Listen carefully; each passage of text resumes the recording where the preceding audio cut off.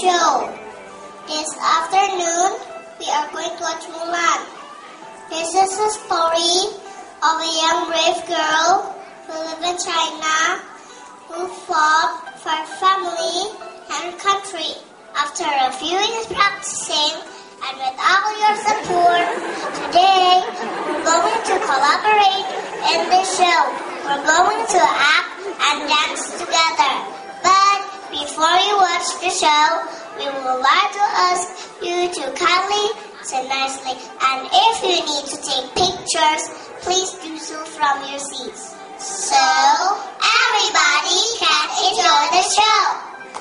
Now, please welcome our principal, Iblina Wijaya. Charge in and enjoy the show. Thank you, Faras and Azalea. Good afternoon, parents, grandparents, and friends. Welcome to Sunflower Annual Party 2013.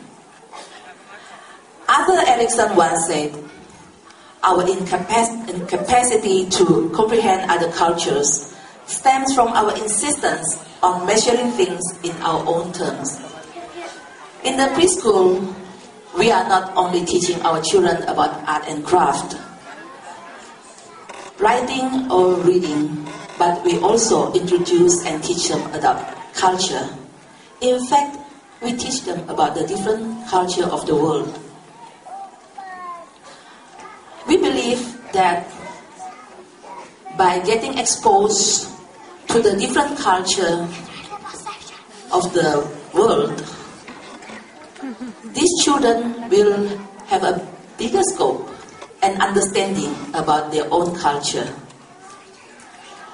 Through the Chinese folk tales, these children have learned songs, dances, as well as culture from China. And today, they are very proud to present you the, one of the most famous story from China, Mulan. I hope you will enjoy it. Thank you.